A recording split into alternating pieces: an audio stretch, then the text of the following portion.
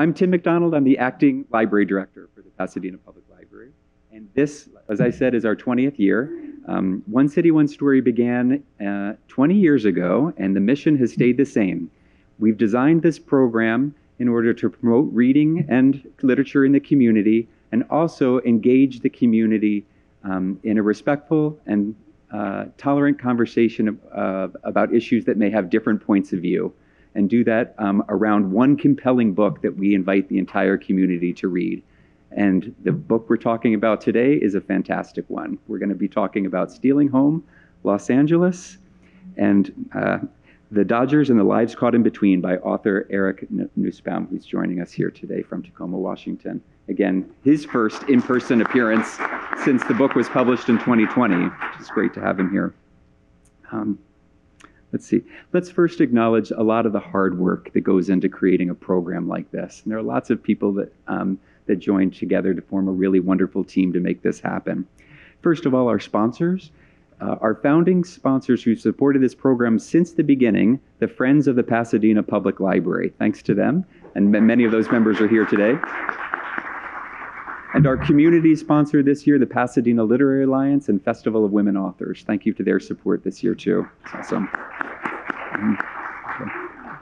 And I'd like to um, thank our hosts here today, the Department of Parks, Recreation, and Community Services here in the Robinson Recreation Center. And what a thrill to be presenting this program in a facility named for a very important family here in Pasadena, the Robinsons, that are so important to our, our, our history as a city and as a nation when it comes to um, wh- when it comes to something we can be proud of. And uh, I can't think of a more fitting place to hold the program. So thanks to the Parks, Recreation, Community Services program for, for hosting us here today. Um, the Library Commission came up with the idea for One City, One Story 21, 20 years ago. And it's a, this, we're, which we're celebrating the anniversary of today. And I'd like to um, uh, acknowledge the members of this year's Library Commission who continue to support this endeavor. Our chair, Michael Stammer, who's here today, and the other commissioners, Adrian Bass, Judith Blanton, Chelsea Dickerson, Jordan Hutkin, Robert Karatsu, Bo Patadian, and Leslie Rosenthal. Thank you to our Library Commission for their support. Their support. And this year's selection committee, the group that that um, finds a finds a collection of really wonderful, outstanding books, re- reads and reviews them all, and does the difficult work of choosing which one we're going to promote through the city. And I'd like to thank those members. Our founding um, founding member of One City, One Story, Jolly Erner, who who, who passed this year, and also other co- our other founding um, member of One City, One Story Selection Committee, Larry Wilson, our, our founding members, and the other members this year, Sharon Calkin, Rosemary Choate, Sally Kauser, Brooke Larson Garlock, Roberta Martinez, Natalie Park, Michelle Pereira, Susanna Porras, Dr. Aisha Randall, Christine Reeder, Maggie Reyes Rothner, and Mary Schuler. Thank you to all the members of the selection committee this year. And I hope you don't mind. I, I, want to give you a couple updates on the library because it's kind of an important time for us in the library.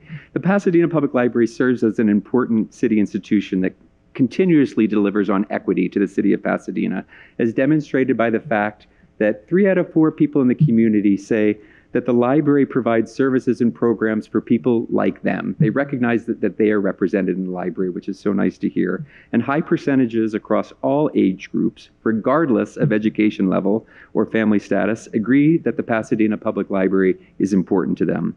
And close to 9 in 10 agree that Pasadena's libraries play a critical role in educating our children here in Pasadena and um, helping them succeed in school and later in life.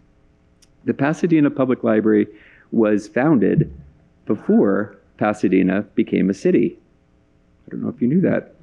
Residents came together to support the funding of the first library by purchasing shares for as little as $5 apiece.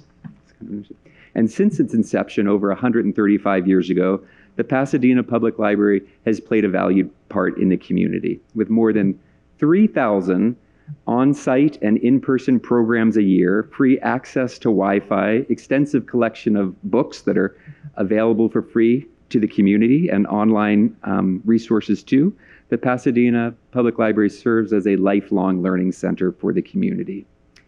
Uh, and I say this with knowing that about a year from now, in February in 2023, we will see the expiration of the city's library parcel tax. So we've got a little bit less than a year before that happens. The, the history of that in June of 1993, voters chose to save the Pasadena Public Library by, uh, and the operations of the library by taxing themselves overwhelmingly with support for the library. And 14 years later, in 2007, residents came together once again and voted by an 80.3% margin, overwhelming support, to renew that measure in order to continue the services provided by the Pasadena Library. Um, if City Council approves this summer, Pasadena will ask voters again if they would like to continue this existing source of revenue by voting on the Pasadena Library Services Continuation Measure. That will continue to maintain our libraries, keep books on the shelves, retain qualified librarians, support school success, ensure that we have Wi Fi and computers in all of our libraries for people to use for free. This is not a new tax. It's an extension of an existing revenue source that's been in place for 29 years, which we're really proud of. And extending this current revenue source for another 15 years will allow us to continue these excellent resources for the community. You're going to hear more about it over the next couple of months between now and November. If you have any questions or concerns about it, again, I'd be happy to um, happy to answer those. Or if you're a part of any community groups that would like more background on the measure, feel free to reach out to me. I'd love to talk to those groups too. Um, the city maintains its commitment to ensure that Pasadena res- residents have the resources that they need, and we want to keep this resource in place for the community.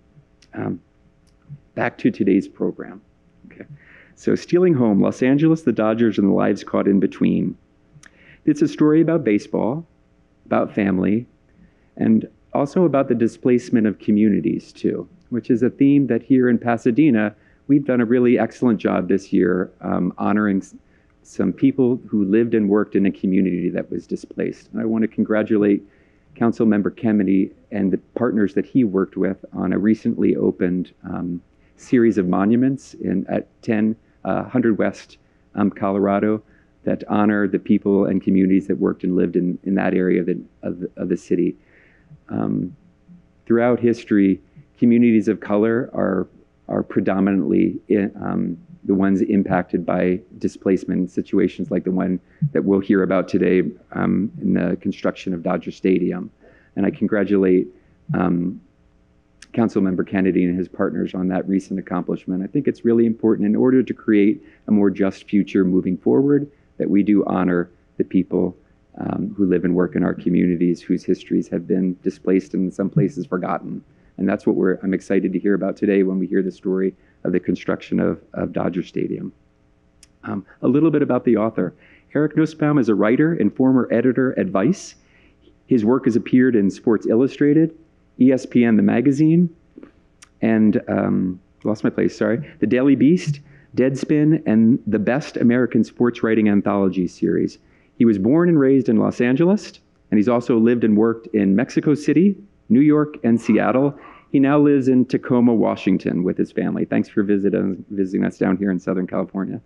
Uh, before we begin this program, I just have a few, few short housekeeping matters to go over. Restrooms, right out this door and to the right if you're looking for those. Um, copies of the book. If you don't have one already, I think we still have a few um, available copies that we're giving away to keep at the end of this program. And Eric's agreed to sign copies of the book who are over at this table at the end of the program today. Um, you can also check out the book at the library. We've got it in print and in electronic formats. If you'd like to purchase a copy, our local bookstore of Vroman's has them for sale too. I hope you'll support them. Um, this is our premier program around the book, but throughout June, we'll be having a series of programs that, um, that touch on the themes that we'll be talking about today. And I want to thank Christine Reeder for the hard work she's done uh, coordinating really some fantastic events. Um, we had um, programs about baseball, about um, civic planning, and uh, we have a really wonderful one coming up about um, Jackie Robinson that's listed in the flyer that I think you've all received here. So check that out to see what programs are coming up. Some of the past ones are also recorded and available on the library's YouTube channel if you'd like to see the, those. Um, if you have a question for, the, for Eric, you should have a little sheet with you. You can jot down your question, and library staff will come around and, and collect them, and we'll have a question and answer at the end of the presentation today. Um, over at the table where Derek is, there's some additional sheets if, you, if you've got more questions than can fit on your paper. Uh, I think that's all I've got. Thanks for um, your patience while I uh, set the stage. I'm gonna, I'd like to introduce Council Member John J. Kennedy to introduce our author.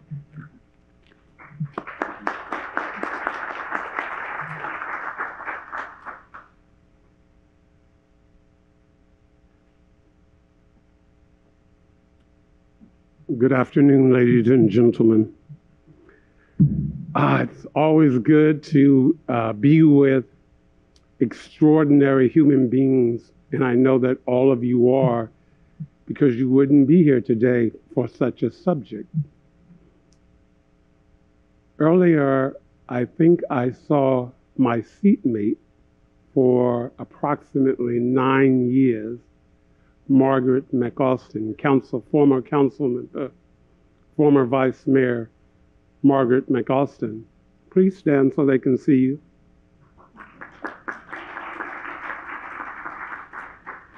Also, a Blair High School graduate, Rick Cole is not the only one in the audience who graduated from Blair High School.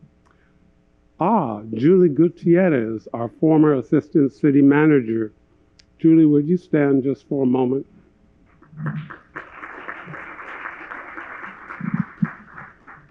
Thank you. 2022 marks the 20th anniversary of our community reading program, One City, One Story. This annual program was created to promote the importance of reading by recommending a compelling book that links the community together in a common conversation it has done just that each year, sparking lively community discussions and open dialogue on the significant issues raised by the selected book. This year's choice, Stealing Home, is being celebrated with an array of programming opportunities planned around the theme of the book.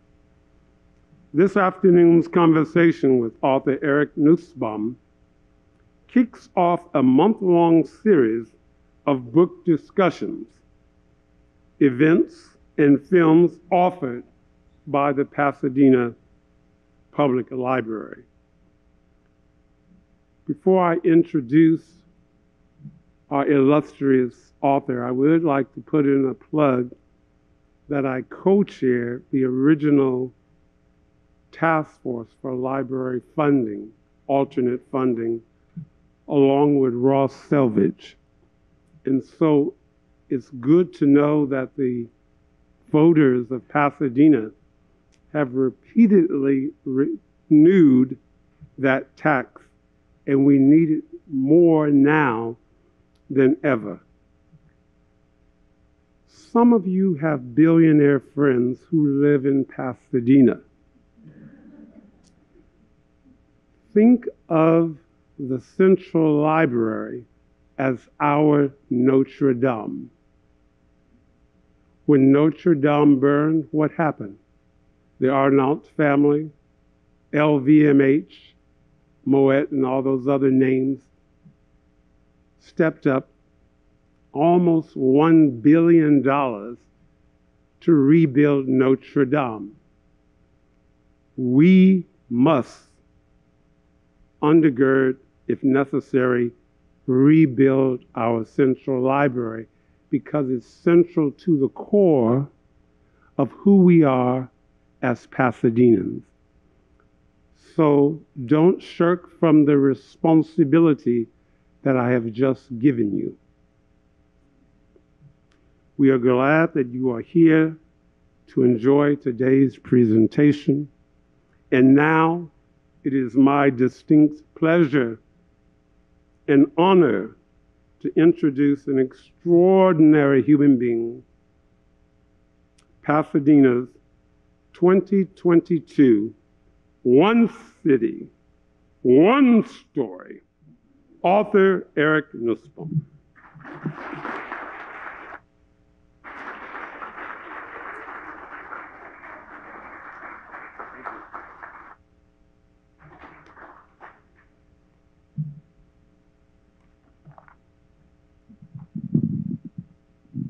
All right. Hi, everybody. Can you hear me okay? All right. Thank you for that introduction. I appreciate it. I'll try to be extraordinary for you right now. Uh, first of all, thank you all for having me. Thank you to the Pasadena Public Library. Uh, this is a very special day for me because although Stealing Home was published in March of 2020, this is my first in person public book event. So it feels like it's being published today.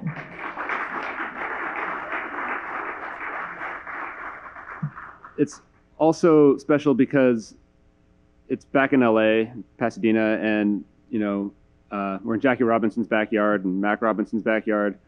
Um, and in the time between writing the book and publishing it, I moved to Pacific Northwest. So coming home to talk about the book feels real special. I'm really happy to be here to do that.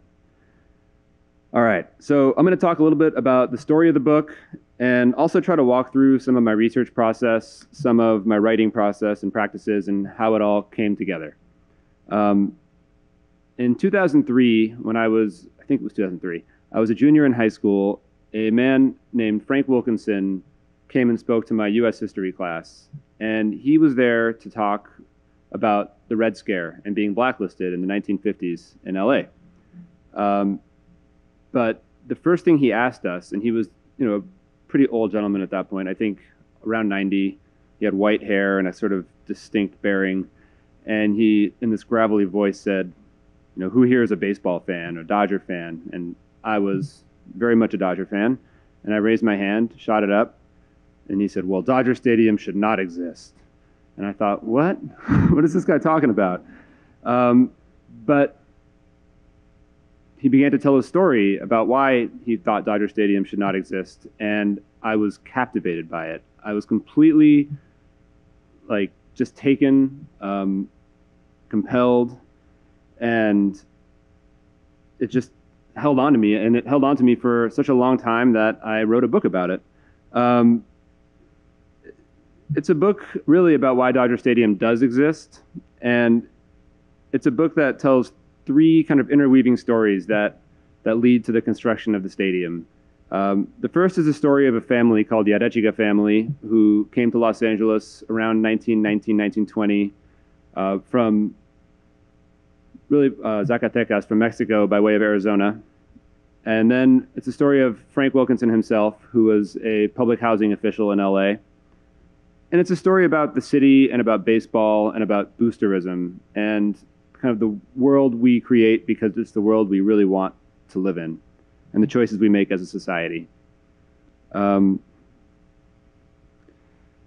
so I guess I'll kind of run through the story of the book a little bit. Uh, I don't know. I don't know who here has read it and who here hasn't. So we're gonna not go, not go too crazy into detail, but I, I won't give all the spoilers away. But you know, you know that Dodger Stadium was built. Um, so the book really centers on on this community of Palo Verde, which is what we now think of as Chavez Ravine. Um, Chavez Ravine being sort of the name we give to the area around Dodger Stadium, but there isn't really like a set geographic boundary to it. In the book, I write that it's sort of a state of mind more than a physical place. Uh, the physical place that we have now as Dodger Stadium doesn't resemble what was there before at all. Uh, there were three communities there called Palo Verde, La Loma, and Bishop, and they were largely Mexican American communities um, built in part because of racially restrictive covenants and redlining laws that existed in the United States um, in the first half of the 20th century and continue to affect the way you know our cities grow and develop now the Arechiga family came to LA and they bought a plot of land in Palo Verde on Malvina Avenue, uh, right next to where the police academy is now in LA. And they built a house by hand, living in tents. And Abrana and her husband Manuel raised a family there. And generations went by and their community grew and grew. Um, it was never a super wealthy community, but it wasn't a poor community either. It was just a neighborhood with you know nice houses and some not nice houses, with a church and a school, and they had a hard time getting resources from the city. You know, you would see articles about community banding together to get bus service because they couldn't get bus service, or um, you know, getting into arguments with neighboring communities about who went to what school. The community um, sent a lot of a lot of young men off to World War II, and they lost a lot of young men. In that's sort of the that's the baseline we'll we'll give for for Palo Verde. Um, the other thing to say is that it was a little bit off the grid. So like right now, if you want to go to a Dodger game, you take the freeway. There was no freeways then, and getting in and out of the communities were, was tricky. They were in these hillsides. They were rocky. It wasn't it wasn't like driving into a residential neighborhood in Pasadena or in Culver City where I grew up. Um, so people kind of thought of these communities as isolated, if they thought of them at all, to be totally honest, because they weren't really on the on the map. Um, so we're gonna we're gonna fast forward to to World War II, and in World War II in LA, uh, the city had a pretty major crisis that might sound familiar, where there wasn't enough housing for all the people who wanted to live here. Um, in particular, we had a lot of military families. We had a lot of people coming to work in the war industry, and the solutions proposed for housing were pretty varied. But one of them, um, and one that had a lot of success during the war, was public housing facilities. Um, we built a lot of public housing during World War II to house military families, and a lot of the housing projects we still have in LA come from from that time.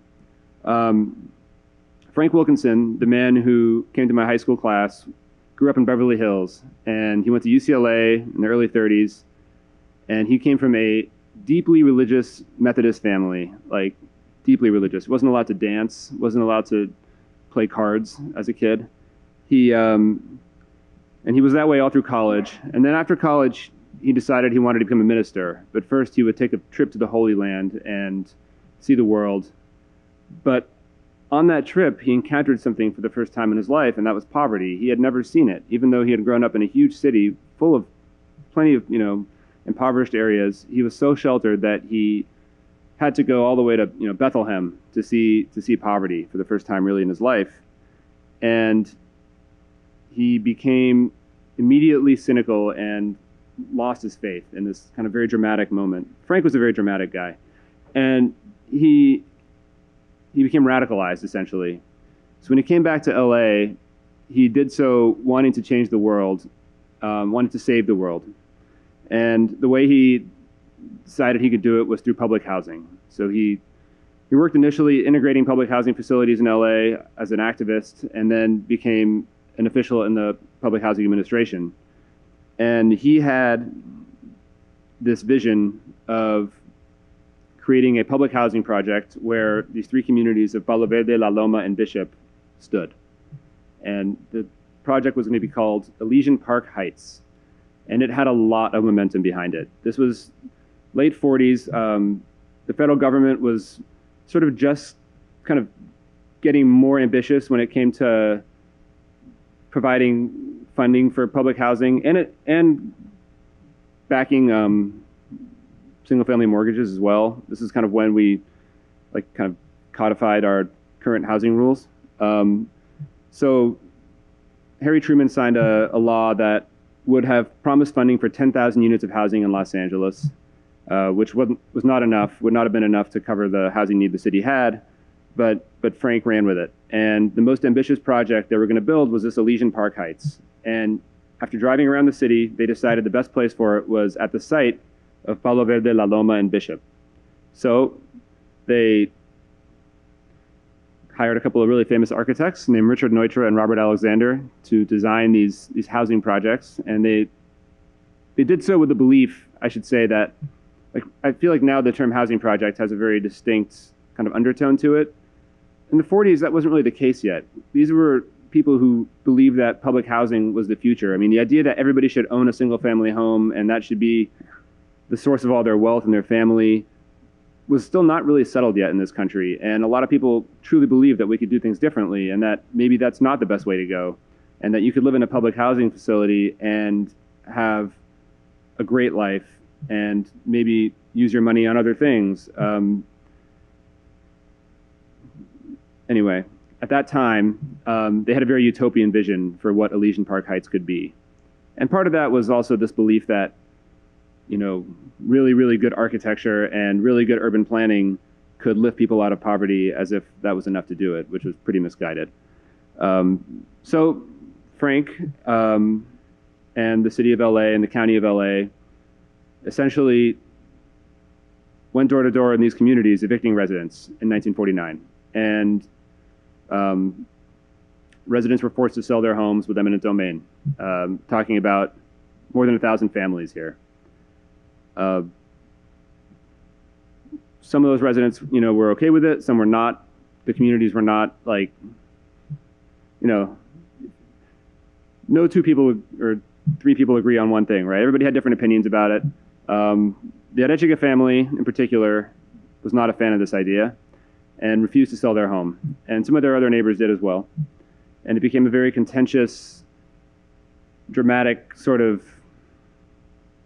issue that, that lingered in LA politics. And as this was happening, the city is also dealing with real estate developers who are against public housing and want to destroy it and see an in.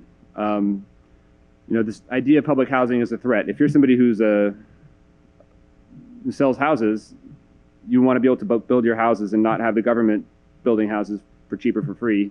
It's not good competition for you.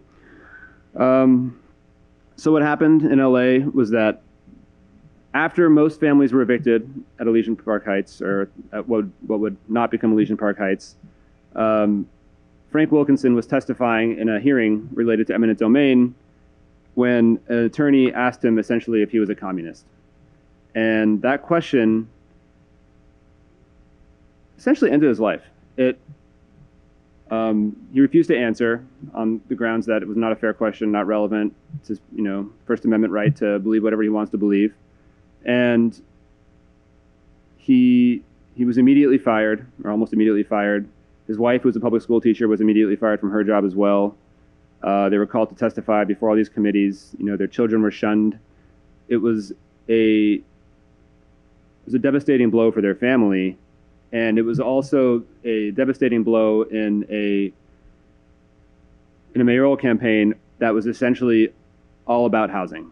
Um, so the following year, 1953, LA elected an anti-public housing mayor named Norris Poulson. Um, we can get into the details of, of how this all happened. It's a lot of uh, kind of dirty politics and corruption. But Poulson canceled the housing project and left most of this land that had once been these three beautiful communities vacant. Um, a few families remained, including the Arechigas, and the city had to figure out what to do with this land that it had acquired and was still in this sort of tenuous legal limbo, and it took years to do it. They talked about putting in a zoo, they talked about a cemetery, they talked about an airport, um, community college. Um, obviously, we know eventually the city used the land to lure the Dodgers west from Brooklyn, and in 1958, that's what happened. Um, but before the Dodgers could build their stadium, they had to deal with the remaining families that were there. Uh, one of those families, the most vocal, the most active of those families, was the Arechiga family, and they were on May 8, 1959, forcibly evicted from their homes on live television in Los Angeles. Um, and that's that's the climax of the book.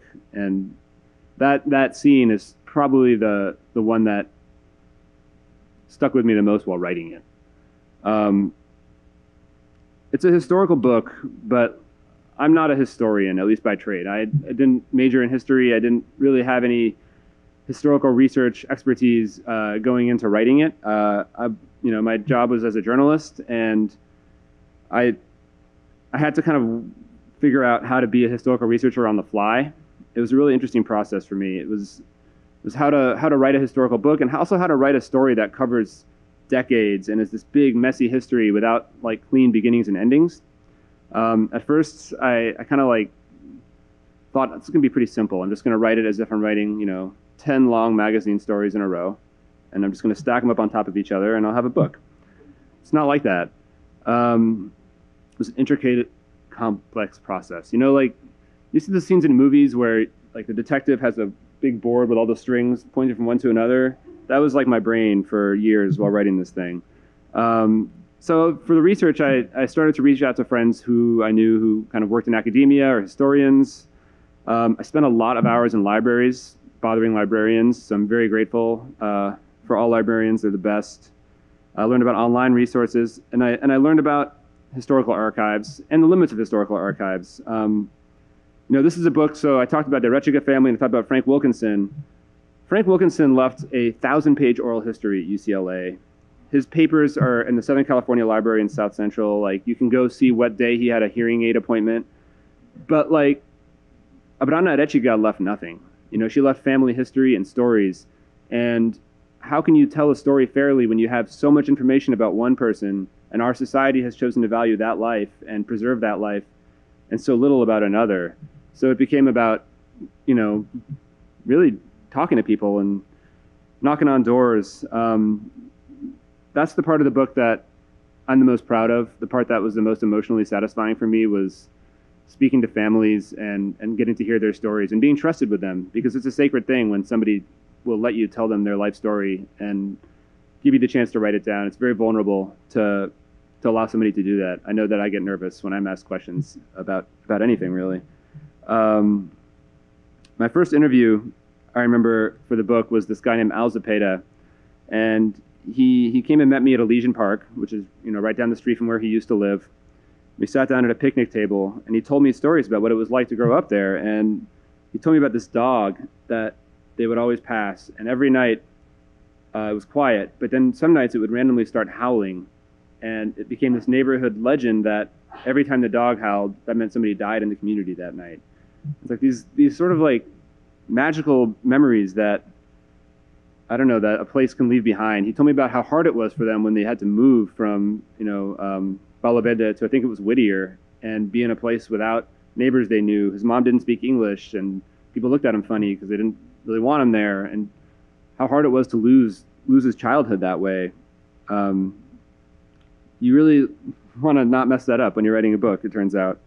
Uh, that was especially true for the Arechiga family, for Abrana. Abrana was this really feisty, um, really, really smart and woman who didn't take any BS from anybody. And um, you know, in every every book about these events, and there's other ones. This is not the only one by any means. In every documentary on the Wikipedia page, you hear about you know how and why she was violently evicted from her home. And the one thing I really hoped to do and tried to do was to to actually answer like why why them? Like what made this this person different? What why did their life lead them to resist sheriff's officers um, in their house you know when their neighbors didn't do that? What what set them apart? And I don't know if I really answered that question but I tried. I really tried hard. Um, but there's like this I don't know. There's a distance you can never really cross, and I'm sort of winging it here. Um, like you telling stories, and you're you're interviewing people, and you're you're looking at archives, you know, and there's moments when you feel like you really don't know. You just don't know, and the weight of what you don't know is going to crush you. And there's moments that you see something, and it's like a light bulb goes off, and you feel like you can speak to the person from the grave somehow centuries later. I remember going in to this skyscraper in downtown LA where the O'Malley family, who used to own the Dodgers, uh, Walter O'Malley's son Peter, has an office. And they were generous enough, and I couldn't believe it, to let me go through Walter O'Malley's papers. And he has these index cards that he kept um, where he wrote his ideas down for the stadium. So, you know, one idea would be like monorail in the parking lot, which didn't happen, or you know, he wanted to have retractable roof that could move with the sun, so people didn't have to sit in the sun. Um, a milk bar for kids. He had, I mean, the stuff that's in the stadium and the stuff that's not. You can see it all right there. It's it's incredible. Um, I remember towards the end of my research, I um, I'm going to wrap it up here. I had actually finished the first draft of the book, and I had to go back to UCLA to look at one more thing. Um, I was in the Ed Roybal archive. Ed Roybal was a council member in LA um, first Mexican American council member, and he was the Arechiga's advocate. He was in this funny position because he was an advocate of this family, but he was also very supportive of the Dodgers move west and the Dodgers coming to LA. And um, a lot of the stuff about this starts and ends with Ed Roybal. But you know, I was going through these folders of correspondence that have been preserved from his time there, and I mean, other researchers have, have been through that a million times. You can see it. You can see it in other books. But I was I was trying to confirm a date, I think, on something, and I see this letter that I had never seen before, and it's probably my third or fourth time going through that folder, and it was a letter from Juan Arechiga, who was Abrana's son, who was one of the people evicted, to um, the mayor of LA, Norris Poulson, and the council, and it was just him spilling out his guts about everything that had happened and about how his family had been treated. And I'm going to read a paragraph from it, and then we'll we'll go to Q and A. Um, my father had a Model T Ford. On that truck, we went to Fresno and picked fruit. We did this for about eight or nine years. It used to take us about a week to get there, so the people themselves can see that my parents made quite a sacrifice to have what they had two houses and a lot in Chavez Ravine. The first step in taking possession of their land was for a housing project. That was abandoned. So now, does the housing authority have the right to sell our land to the city, and they in return sell it to Mr. O'Malley for a private ballpark? I mean, that was it. That was like the whole book right there in one paragraph. And I will, um, I'll end it there. Thank you for listening to me ramble on.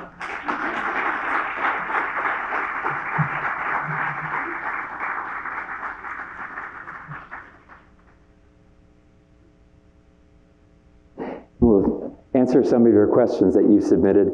Library staff's going to walk through the hall too and collect more if you thought of any. Thanks a lot. Um, there we go. And I'm reminded by Christine that we do have available copies of the book left over. So please stay after the program. Join us over here at this table, and Eric would be happy to sign your own copy to keep. It's great. And library staff will come, come through and collect your questions. First question I've got for Eric. The beginning of the book really grabs your attention. Why do you start with Abrana as to start the book off? I think Abrana is like the heart and soul of the book. I think her story, her tragedy, is the it's the most moving and important part of it. To me, she's she's the main character. You know, she's the she's the protagonist of the book in many ways. Um, I also think that the real climax of the book is the eviction, and for the eviction to be it's probably more speaking like you know writing process wise for the eviction to have emotional resonance you have to start with with the person being evicted essentially.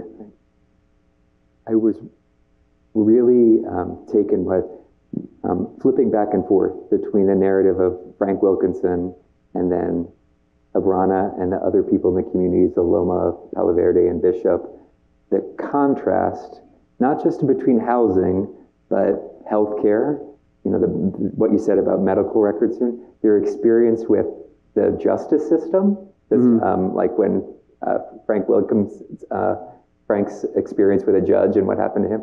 What was that like for you discovering the differences between uh, their experiences? It was amazing because it was like they lived in completely different worlds. I mean, Frank Frank was a child of privilege. He had everything. You know, his father was a well-respected doctor and an activist and a well-known person in LA.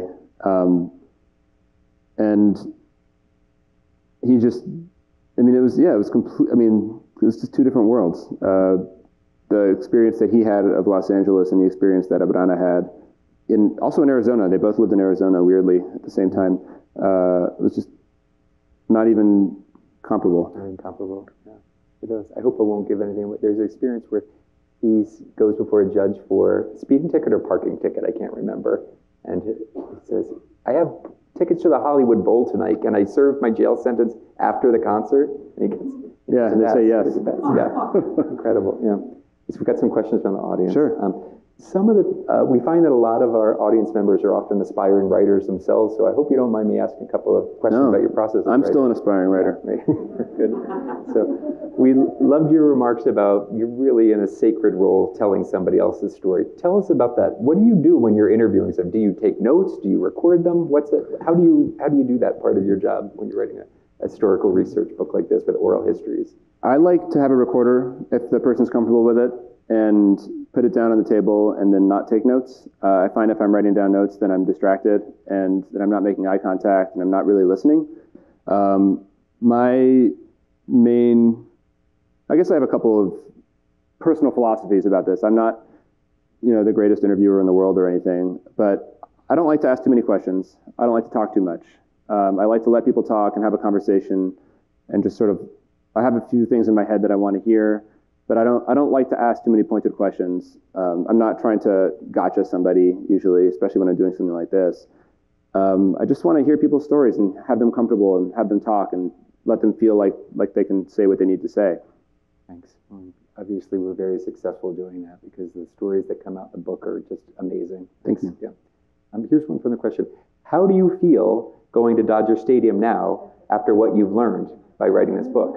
Well, I haven't been to Dodger Stadium much lately, um, but I, it's a powerful experience. You know, I, first of all, I still love going to Dodger Stadium, and I think I might love it more in a sense because I appreciate so much of what happened to to make that place exist. And I didn't talk about it just now, but the work that the O'Malley family did, um, that Walter O'Malley did to build that place, was so specific, and he was such a kind of insane, power-hungry genius that it was. It was. I mean, it's a beautiful, important building, and so much thought went into it. I mean, the the way that you know they grew the grass at the exact same elevation where the grass would be, so they knew that it would, it would thrive in the right environment. I mean, it was really, really precise detail. Um, so I appreciate the architecture and I appreciate the place, but I also appreciate the gravity of it. And when you've sat with somebody and they can tell you where their house used to be, and you can look out in the parking lot and see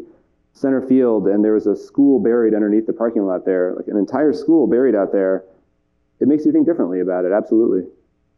Do you think the Dodgers or the city can do anything to to share the legacy that you tell in your book? Um, yes, absolutely. Um, they, they could do, I mean, first of all, they could do anything because nobody's done anything really. Uh, the Dodgers have not, the city, the county. I think they have a responsibility to do, to do a lot. Uh, that all said, I'm not the person who should be deciding what they should and shouldn't be doing. The, there's community organizations. There's one called Buried Under the Blue that was started by some descendants of, of the Arechiga family. Uh, people like that, people who live there, should be having those conversations. They are having them, or they're trying to have them, uh, but it's not my responsibility. Like I'm not. It's not that I'm not, I'm not shirking the responsibility, but I, I think it's yeah. important that people who are deeply connected yeah. to it do it. That's a good answer. Yeah. Uh, this is a technical question about the architecture of Dodger Stadium. Oh, why? why does Dodger Stadium not face downtown? I think it's because of the sun. I think it's because they don't want to have the batters facing the sun. I think it's pretty. It's pretty, pretty much about that. Yeah. Yeah. Um, uh, that's a good question. I saved that one. Um, do you have a favorite line in your book? No. uh, probably some line that had to get deleted at some point. Usually, the ones that you like the most are the ones you have to cut. Uh, that's good. Uh, I think you, you talked about this in your talk, but maybe you want to share more. What inspired you to write about the Mexican communities near Dodger Stadium?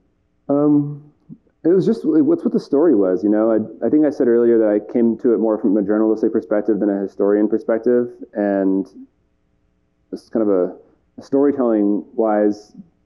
Those communities are the story. I mean, they are their destruction is the, is the great tragedy in this. I mean, Frank Wilkinson's personal destruction is a tragedy, but he was also the engineer of the destruction of those communities. So um, it's, you know, if, if your community was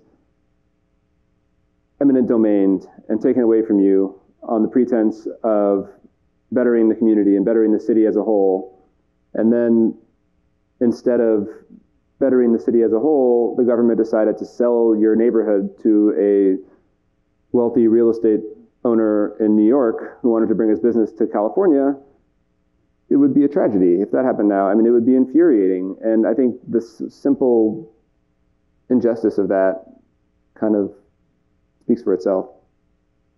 How have the families that you interviewed received the book? Talked to them since Yeah, publication? Yeah, I think pretty well um, for the most part. The people who talk to me still have received it well. Uh,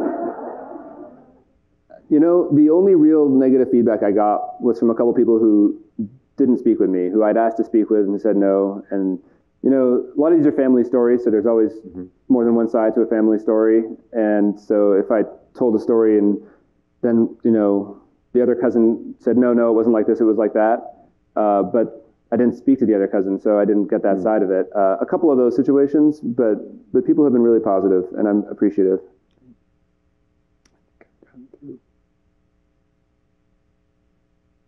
We've gotten through. Um, someone asked, do you think the O'Malleys have been um, unfairly chastised?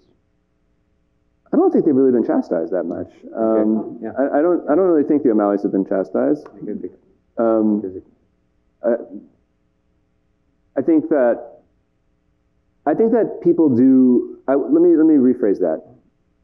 First of all, no, not really. But second of all, I think there's a misunderstanding of this story that's really broad, which is that it, it gets condensed. It becomes there was a community there, and the Dodgers came and kicked them out and built a stadium.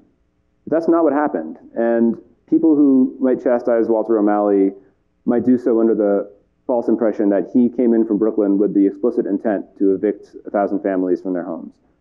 I don't believe that's what happened. I believe that the city did this to itself, essentially. And Walter O'Malley benefited from it, and he did so without any, you know, remorse, I don't think. And he might have pushed things along a little bit, but but this is much bigger than just the Dodgers. Two more questions, and I think we'll wrap it up. Um, one is, uh, I'm a librarian, so I've got to ask you a little bit more about libraries. You said that it was a big part of writing your book for you. Why are libraries important to you? Well, I mean, library is important to me as a reader. Uh, I'm a person who loves books and reads books, and you know, I spent many days walking. My mom's here and dad; they can attest to the Julian Dixon Library of the LA County System in Culver City, and checking out books for myself. Uh, I love books and love libraries. Um, I still, you know, now live in Tacoma. I check out books there all the time. Audiobooks are a thing I just got into, and you can get free audiobooks at the library too. Uh, but aside from that, you know, libraries are not just books. They're places where you can really like learn about about the world in a way that goes beyond just like pick up a book and read it. It's the amount of archival material, the amount of thoughtful curation that goes into stuff. Um, librarians do a lot more than just you know catalog and shelf books and help people find a recommendation. It's uh, it was eye opening, honestly, to write a, a, book like this and have to really rely on library resources and, and archives um, and just learn how extensive it is. Last question I wanted to ask uh, has to do with the namesake of our building, the Robinson family and Jackie Robinson in particular. Very important Pasadena history, Los Angeles history too. You have a really fascinating section of the book about uh, Jackie's testimony, the House Un-American Activities Committee, and, and other facts throughout the book too. Is there anything interesting that you learned in doing your research of Jackie Robinson that you'd like to share with the audience? Or uh, yeah, anything? yeah. I mean, first of all, I think Jackie Robinson.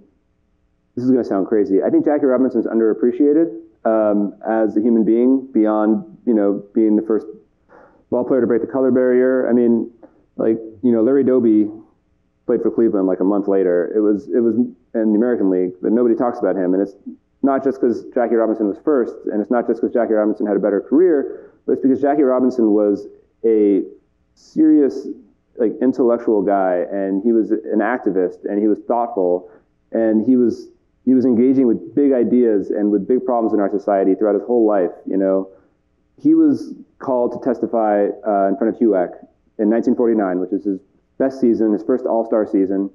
Um, to testify against Paul Robeson, who was an entertainer who had been condemned for being a communist and you know playing concerts in the Soviet Union, and it was basically like this hatchet job against Robeson. But Jackie Robinson, being kind of vulnerable, didn't really have a choice. He was called to testify against Robeson. Uh, his boss, Branch Rickey, was a fierce anti-communist, and essentially the threat was that if you don't throw Robeson under the bus, we're going to call you out as a communist. Right? This was a time when anybody could be a commie and have their life ruined. And Jackie Robinson's life was really vulnerable at that time. And Robinson went up there and he basically said, we're wasting your t- our time. And he gave this incredible speech. Um, I printed some of it in the book, but about what really matters and oppression in America. And the courage it took to do that um, in 1949 in his position is it's amazing. It's a really wonderful, nuanced part of the book. I think, and I, I thank you for that, and we all thank you for being here today too. If you haven't re- read the book, you're really going to enjoy it. You've got remember to pick up a copy here today. And I'll go talk with you. Thank you for uh, helping us celebrate our 20th year of One City, One Story. We're really glad to, to have lured you down from Tacoma to visit us Oh, no, thank you. on a hot afternoon here in Pasadena, and uh, really wonderful to have you here. Thank you, Eric. I appreciate it.